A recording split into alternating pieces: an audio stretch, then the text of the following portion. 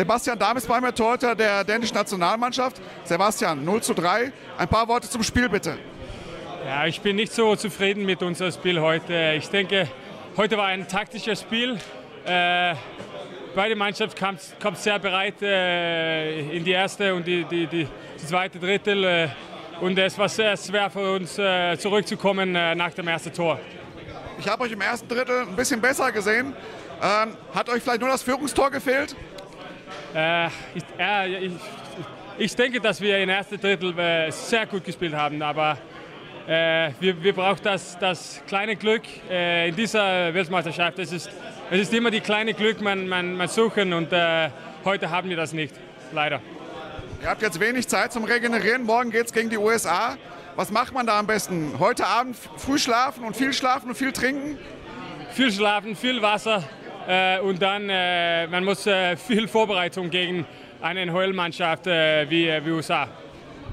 Anderes Thema. Wir haben zuletzt gehört, dass du in Graz gespielt hast, bei den Graz 99ers in der EBL. Ja. Ähm, Gerüchte sagen, dass du in die deutsche Eishockeyliga wechseln wirst. Ist das richtig? Es ist richtig, dass ich immer äh, die deutsche Eishockeyliga äh, spielen äh, wollen. Aber ich habe keine, keine neuen Informationen. Aber ich, ich spiele nicht in Graz nächste Saison. Das ist, das ist alles, was ich kann sagen.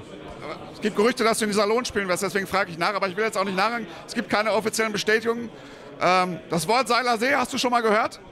Ich kenne, ich kenne äh, Iserlohn von, von Mars Christensen, da, da, da gespielt haben und ich habe viel mit, mit, äh, mit Mars gesprochen äh, auf, auf die deutsche Eishockey-Liga. Ich habe immer das ge gefolgt und äh, ja, ich denke, dass die, die DL würde eine gute äh, Liga für mich äh, nächstes Jahr.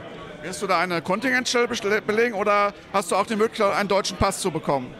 Äh, ich habe ein bisschen deutsche Familie, aber ich weiß nicht jetzt, was, äh, was, es, was es meint.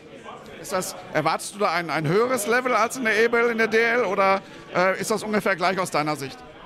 Äh, ich, ich hoffe natürlich äh, auf die DL. Äh, ich denke, dass mit meiner deutschen Familie, das, ist, das würde auch eine, eine gute Stelle für mich. Sag ich bis hierhin erstmal vielen Dank, gute Erholung und viel Erfolg morgen. Danke dir.